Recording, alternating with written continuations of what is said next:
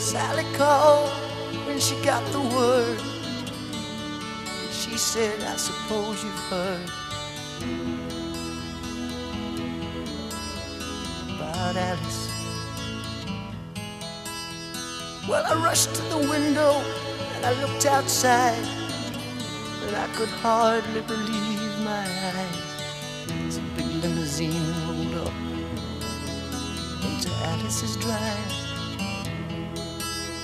I don't know why she's leaving or where she's gonna go. I guess she's got her reasons, but I just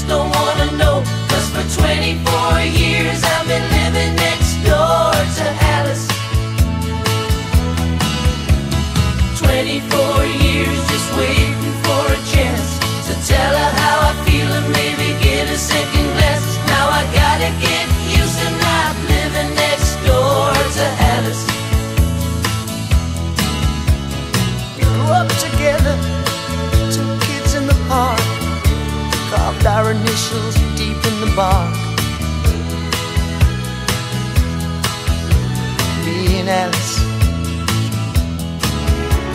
Now she walks through the door with her head held high.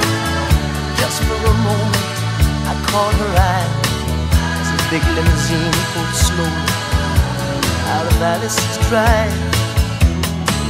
Oh, I don't know why she's leaving or where she's gonna go.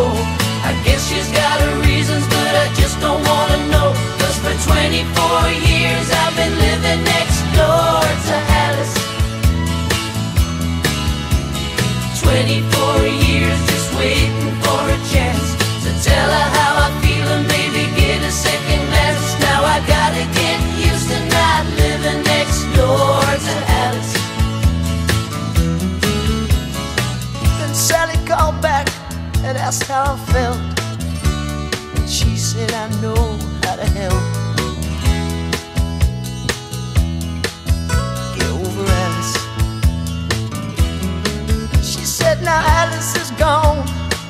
I'm still here. You know, I've been waiting for 24 years. And the big limousine disappeared. I don't know why she's leaving or where she's gonna go. I guess she's got her reasons, but I just don't wanna know. Cause for 24 years I've been living next door to Alice.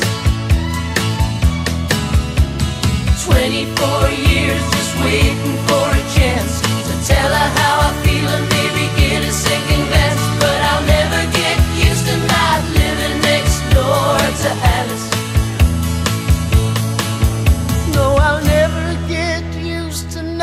living next door to Alice.